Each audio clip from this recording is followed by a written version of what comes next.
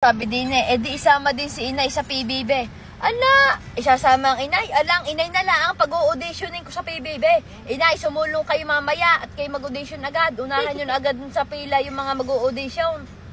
Hindi pa nagpapa-audition, abay kayo pumila na agad. Ano naman naisipan ko naman sa tanda ko ng ari akong... Ala, hindi. Aba, mali ninyo. Hindi naman. na eh. Bakit ako pupunta doon? Kaya nga ayaw kong papasukin ka doon.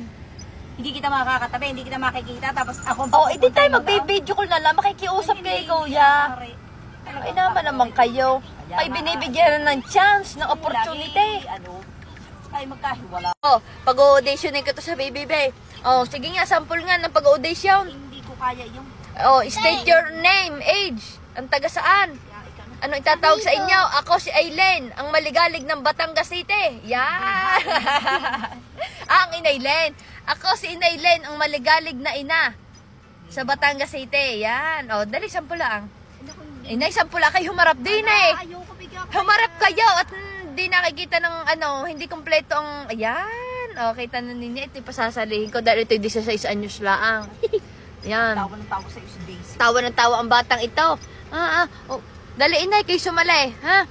Kayo ipipil, ano, kayo Wala i... sasali muna sa atin. Ano sa sasali? Kung kailan may oportunidad, ay ayaw nyo laging igagrab. Kaya naman kayo. Paano na kayo?